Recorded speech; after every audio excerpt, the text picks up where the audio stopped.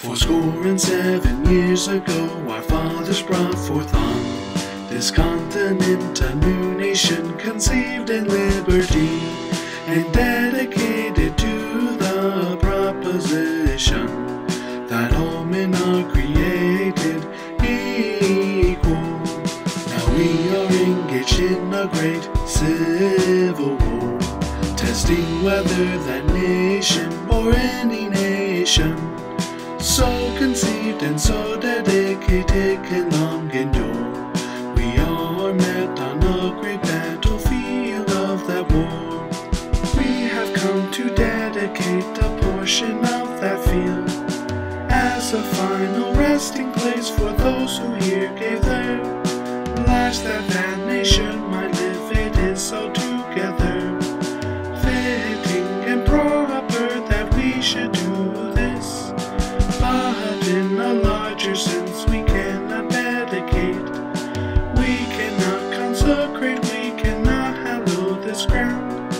Men living and dead who struggled here have consecrated it far above our poor power.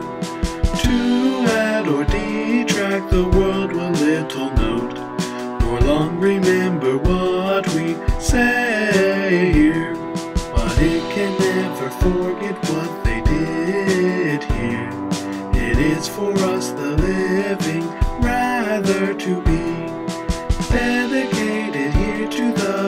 unfinished work, which they who fought here have thus far so nobly advanced.